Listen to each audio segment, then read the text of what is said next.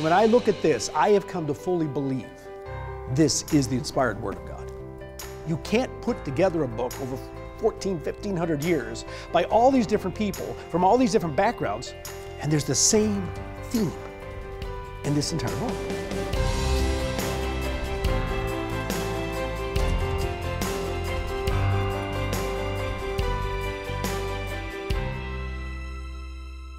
While back, I received a phone call from someone that I didn't even know who he was. And he just asked me, What English translation of the Bible do you use? Well, I told him I usually use the New King James Version, but I use other versions. I have a lot of Bibles that I check and look at. The man immediately began to explain why the Old King James was the only legitimate English translation. You know, the debate over Bible translations is minor compared to all the other arguments and intense battles over Bible questions. I mean, does the Bible condemn or accept homosexuality or transgenderism? Do all religions lead to heaven? Some Christian pastors say yes, others say no. Religious secularism teaches that all people are basically good. Now, most Christian religions teach that people are basically bad. There's the health and wealth gospel, the social gospel, liberation theology, and hundreds of Christian denominations teaching different interpretations of the Bible. It is said that the Bible is the most published, most read, most misunderstood, and the most fought over book in history. And okay, let's face it, let's be honest. Here on Beyond Today, we have a biblical worldview that is in many ways different than mainstream Christianity. I mean, views like Christians should keep the seventh day Sabbath, or that we don't have an immortal soul. Now, how can you sort through this mess? How can you, who are watching us today, say, How can I sort through all this mess? Everybody has a different viewpoint. We have a different viewpoint. Well, today, we're going to discuss one common sense approach that can help you sort through the confusion and better understand the Bible. Now, I've known a number of people through the years that this is how they did their Bible study. They would pray and ask for God's direction and God's help, and then they'd close their eyes, open the Bible, and do this. And this is it. You know, so and so beget so and so, who beget so and so, who beget so and so. A lot of begetting going on. I have no idea what that has to do with my life, right? Now, that's pulling something out of context. You and I must seek God's guidance, and that's true. That's where we start. But you can't be haphazard in how you approach this book. Now, I have found that you can spend an entire lifetime in serious study of this book and never discover that everything God wants for you. This book is a miracle, an absolute miracle. Now, I want you to think about maybe a novel that you've read sometime in your life, a book that had an impact on you. And it was a great story, right? There was a central theme, and there's characters, and there's dramatic elements, and there's love and tragedy and violence and redemption. You know, the Bible contains all of these elements. All of these elements, but it wasn't written by one author. It was written by dozens of people over a period that almost lasted 1,500 years. And it's not a novel because everything in it is true. They're actual events. And it does contain a central theme. I mean, when I look at this, I have come to fully believe this is the inspired Word of God. You can't put together a book over 14, 1500 years by all these different people from all these different backgrounds, and there's the same theme in this entire book. Now, as I stated, today we're going to look at one simple way to better understand the Bible. And this simple, common sense point is to study the Bible in context. Now, I know you're thinking, what is context? I mean, what does that mean? Now, we have a, a study aid that all of you here in the audience have received how to understand the Bible. Okay, this is very important. So, this is where you can draw and find common sense ways to understand the Bible, to look at the Bible. And we're going to look at a definition. Go to page 17. Go to page 17 because we're going to look at and read a simple definition of what it means to be in context or to read in context. Here's what it says Reading in context simply means to carefully consider the verses before and after the text being studied. So, okay, you just don't pull it out. Okay, what were the verses before? What were the verses after? Out of context means trying to understand the verses with little regard for the surrounding subject matter. It's like opening the Bible, closing your eyes, putting your finger on a verse and saying, Oh, I get this. No, you don't. What does it mean in the context even of the book that it's in? Now, in this How to Understand the Bible, there's another comment here, and this is going to guide where we go for the rest of this program. Studying the context includes analyzing the verses within the framework of the paragraph, chapter, and book, and in a larger sense, the entirety of the author's writings and the Bible as a whole. Have you ever thought? I mean, what would you say? This is the context of the entire Bible. This is the major theme that runs through the Bible. Now, there's a lot of themes that run through the Bible, but what is the major theme? The major theme that you, if you understand, you can start in Genesis, end up in Revelation, and understand the major point of this book. Now, we find that the major theme of the Bible is at the very beginning of the book. It tells us what it is, and it ends up in Revelation. So the context, and it's in the Genesis account of creation. And the context here is that Adam and Eve have disobeyed God, and God is kicking them out of Eden, okay? The first human beings decided that they knew more than the Creator. And there's another being involved in this, is very important too. Satan has come along and convinced them God doesn't know what he's doing. And so they follow his advice and they make decisions and they don't follow the Creator, the one who has created life. And the result is that they, have, they become immediately mentally, emotionally, and spiritually broken. They suffer and they die, just like God told them. They would suffer and they would die and they'd be all broken, and that's what happens to them. And you know what? This is the story of humanity. The story of humanity is broken people suffering and dying. And let's be honest, because that's where we have to go here. The story of your life, you're broken people trying to make it through this.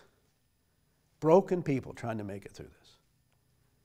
Now, let me tell you the story of the Bible. The story of the Bible is how God said, okay, this is what's happening to you, but I'm going to bring you back.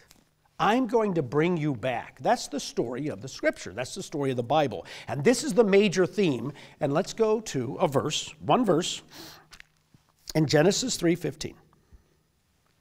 And this is what God says to Satan. The context is God's talking to Adam and Eve, and he says, Your lives are going to be all messed up. And then he goes to Satan and he says this to him I will put enmity between you and the woman that's Eve and the, the seed of, of, of Eve, and between your seed and her seed. He, he shall bruise your head, and you shall bruise his heel. Now, if you look at that, that's a, well, what does that mean? But this is our starting point in understanding the theme of the Bible. It's our starting point. And it is where God says to Satan, There's going to come a seed of the woman, a human being, and he's going to conquer you. God promised from the very beginning, Adam and Eve are being, they didn't walk out of the Garden of Eden, they were shoved out of the Garden of Eden. And he says, Now you're going to go out, and just like I told you, this isn't going to work, but I am going to save this mess through the seed of Eve. Now, that doesn't tell us much, does it? Satan's going to be conquered through the seed of Eve. Now, this is why, this is such a huge subject. This is why we want you to order your copy of how to understand the Bible. There are actually 15 keys to studying the Bible in this study aid. And all of you here received one. For you that are watching, you can call the toll free number, get your free copy, or go to beyondtoday.tv. If you go to beyondtoday.tv, you can read this or download it. Okay. Now, to better understand the context of the Bible, in a very short period of time, we're going to look at how the Bible is constructed.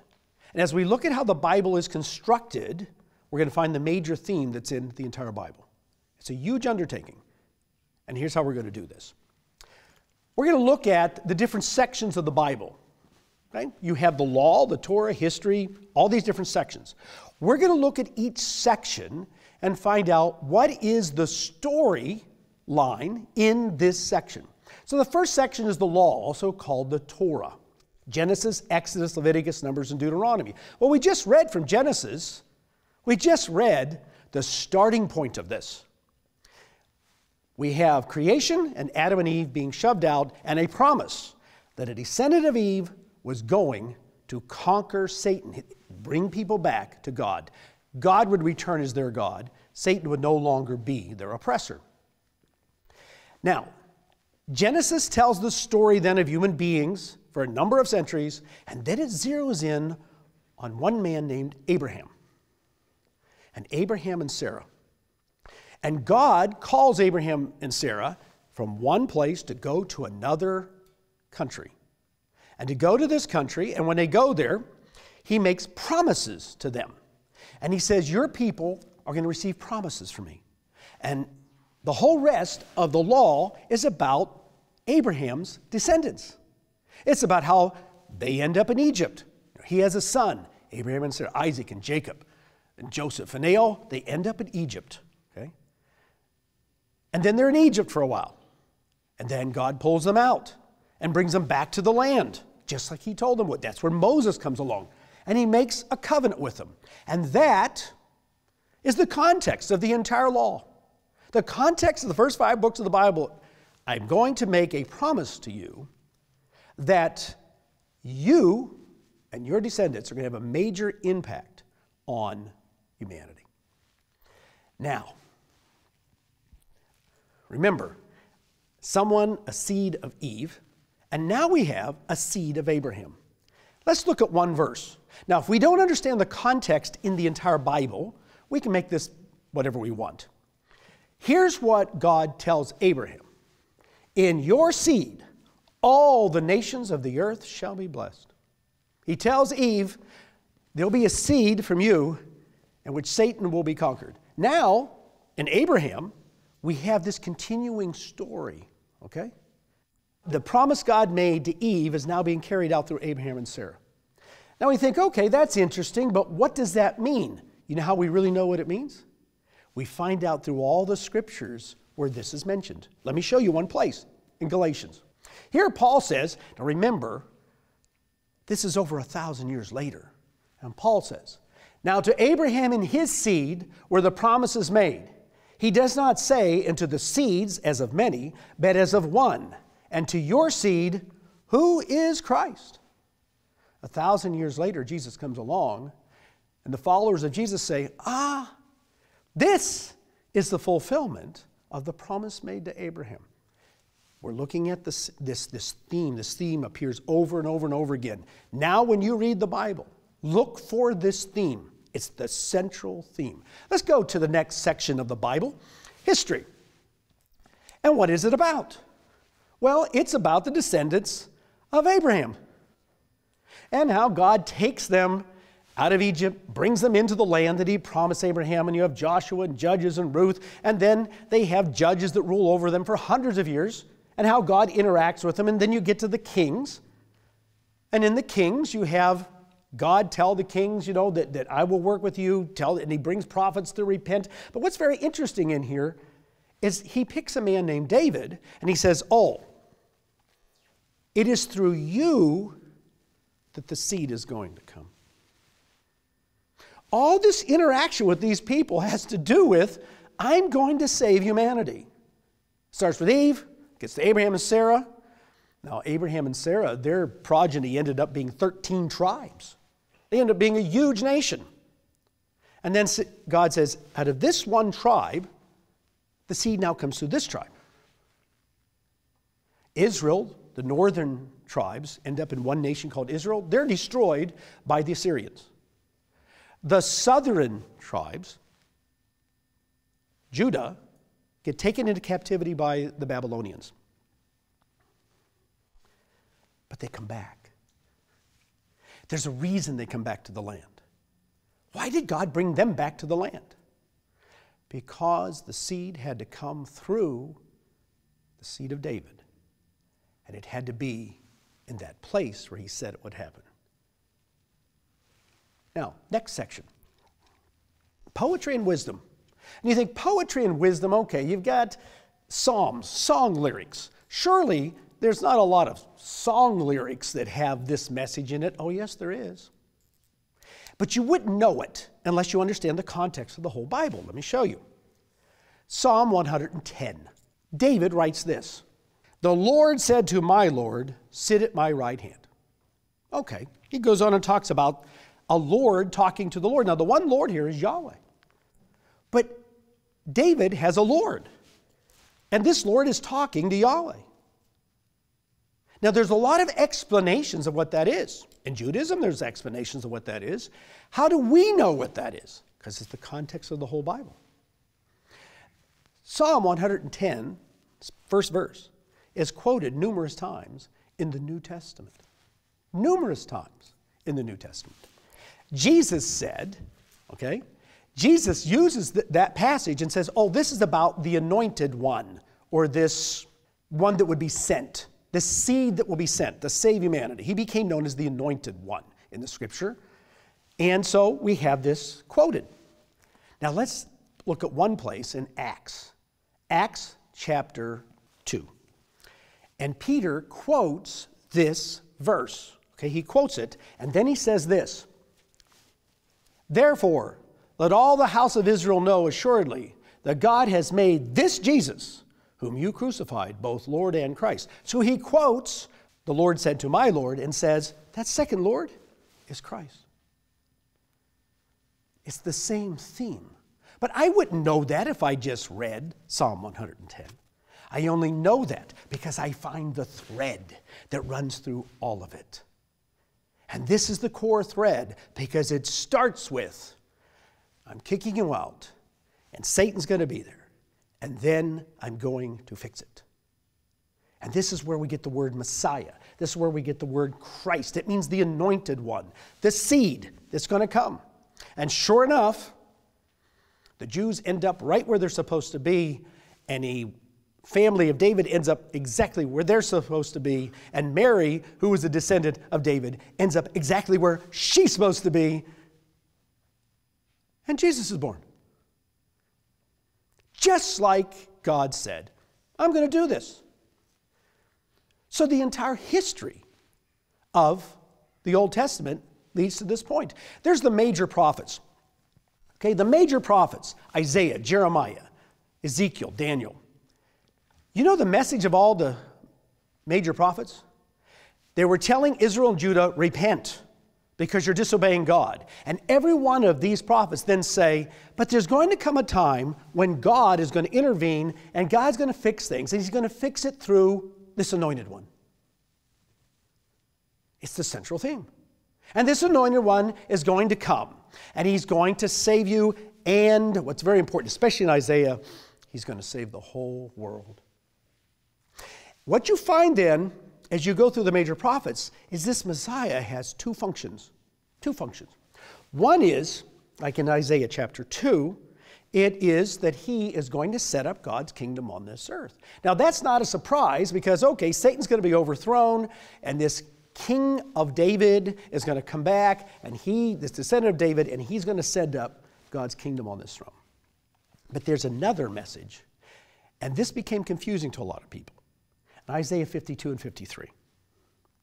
There is a suffering servant, an anointed one sent by God, who is slain for the salvation of the nations.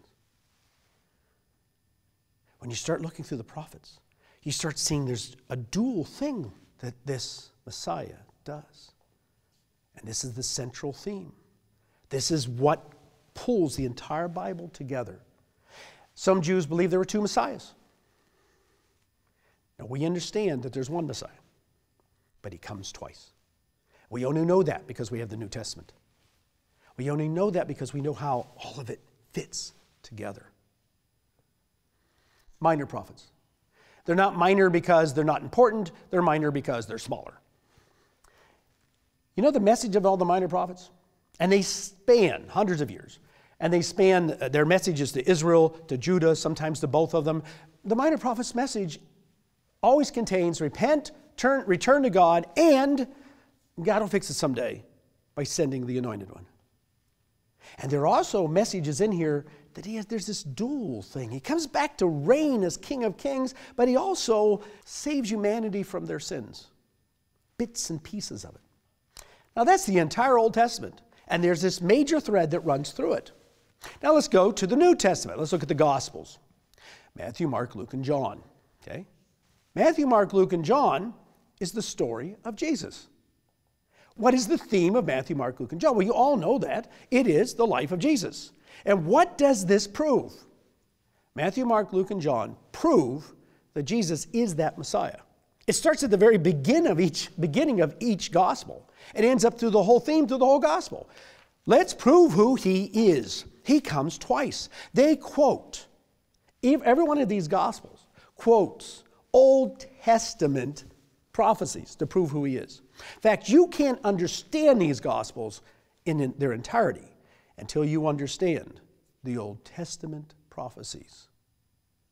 The whole theme of the Old Testament now takes focus because this Messiah comes twice. Then we have Acts. Acts is about the church founded by Jesus Christ and how they went out and spread the message. Read the book of Acts. They always have two parts to the message.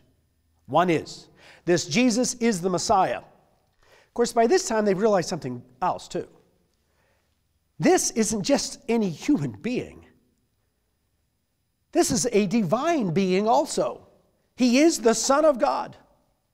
And so they stress both in the Gospels and the book of Acts, they spread and say, God sent his Son, a divine being, to become human and to die for the sins of humanity. He's been resurrected and he's coming back.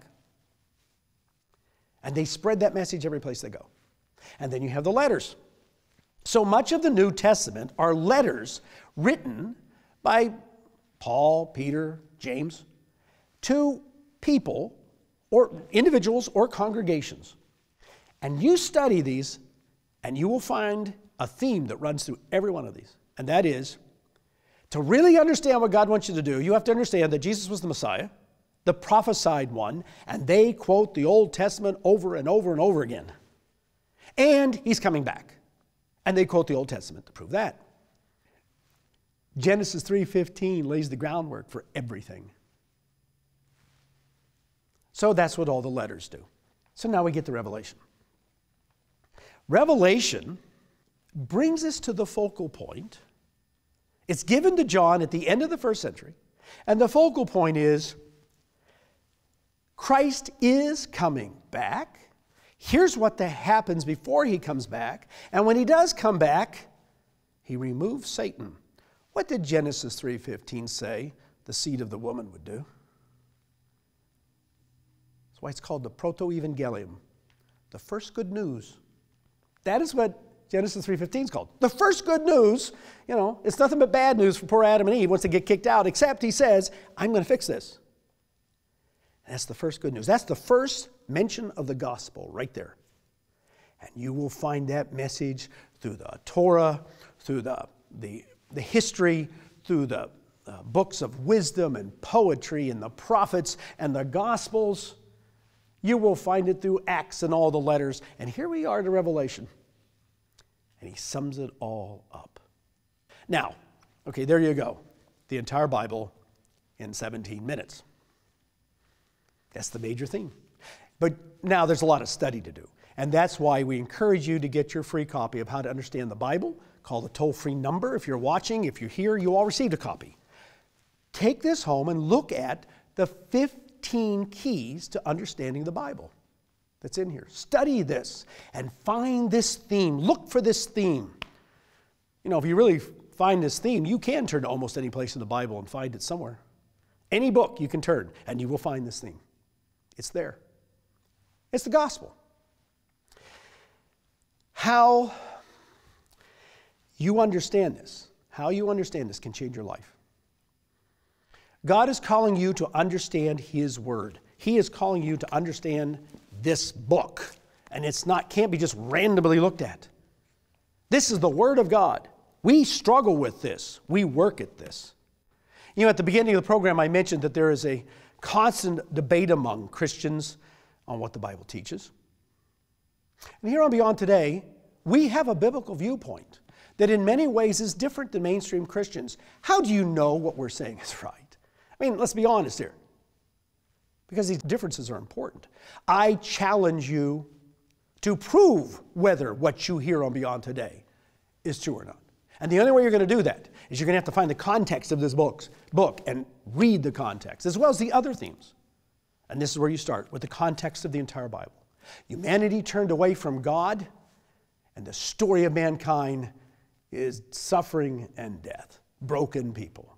The story of the Bible is how God is bringing humanity and bringing you He's bringing you personally, this isn't just about other people, back to Him through the life, death, and resurrection of His Son, Jesus Christ, and through the fact that He's sending Jesus Christ back soon. Christ is returning for those who respond to God's call. And the time is now for you to respond to that call. Call now to get the free booklet offered on today's program How to Understand the Bible. The Bible is the world's best selling book. Yet to many, it remains a mystery. Two people reading the same Bible verse will reach wildly different conclusions because they don't read it the same way. There is a right way to read it, and the Bible itself tells us how. God has given you the words of life, and He wants you to understand them. In this free study aid, How to Understand the Bible, you'll discover the keys to unlock the Bible's profound meaning, and it will show you how to apply its wisdom in your daily life. Order now. Call toll free 1 886 8632 or write to the address shown on your screen. Would you like to experience the power of God's Word in your life? Don't wait. You were born to ask big questions. The Bible has the answers. The deep truths of God will transform your life. When you order this free study aid, we'll also send you a complimentary one year subscription to our Beyond Today magazine. The Beyond Today magazine brings you understanding of today's world and hope for the future. Six times a year, you'll read about current world events in the light of Bible prophecy, as well as practical knowledge to improve your marriage and family, and godly principles to guide you toward a life that leads to peace. Call today to receive your free booklet, How to Understand the Bible, and your free one year subscription to Beyond Today magazine. 1 886 8632 or go online to beyondtoday.tv.